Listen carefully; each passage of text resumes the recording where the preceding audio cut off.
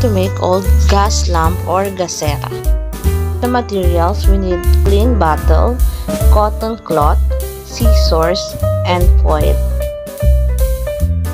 First step, gupitin ang tela sa apat na piraso or apat na bahagi pahaba.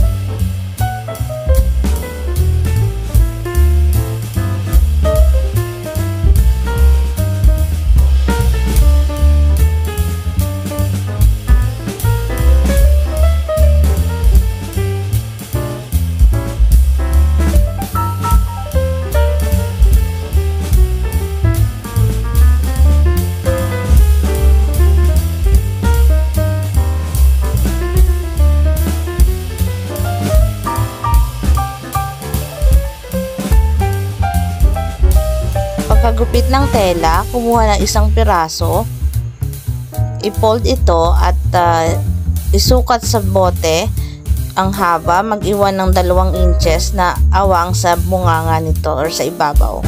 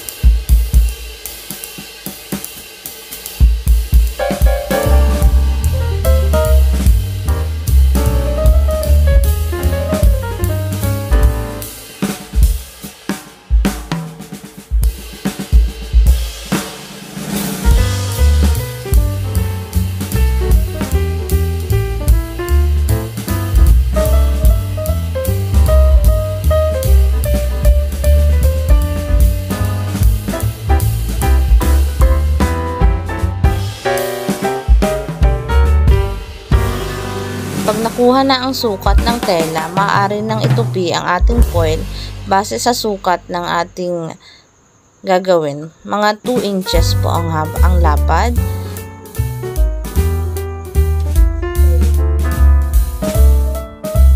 Pagkatapos, ibalot ang foil sa tela sa may bandang dulo ng sukat papunta sa bunganga or palabas ng bote.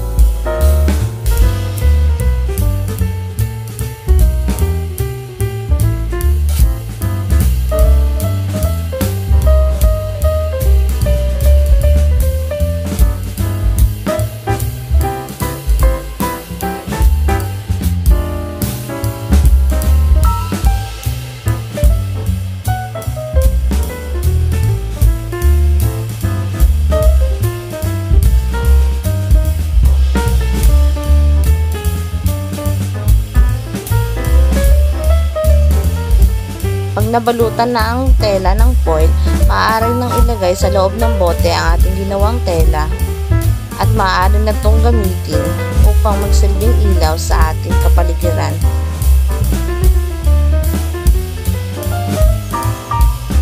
At kung una kang gumawa at merong labis na tela, maaari itong putulin lamang.